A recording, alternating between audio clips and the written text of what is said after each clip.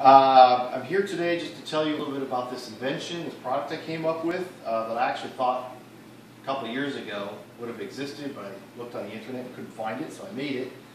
And it's just a combination of a standard broom and a vacuum cleaner. So you just kind of attach them uh, this way. This one's attached with a uh, metal washer uh, and two magnets on the bottom of a cheap vacuum knife on, on the line, and you just put them together like this.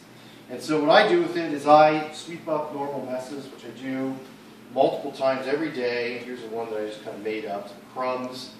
Flip the switch here, and I can easily vacuum the stuff up without having to bend over or use a dustpan or get on my stoop down to floor level to do it.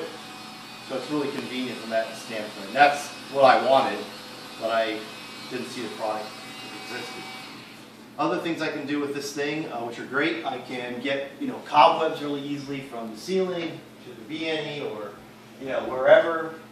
If I want to get into like uh, do some like baseboard cleaning or get into nooks and crannies that you can't with a you know broom or a dustpan, I can just turn this on and you know this. Getting some some little dust bunnies down here, which is kind of handy. So I really don't want to get a vacuum out to do it, but I have this attached to the boom already. So it's very convenient.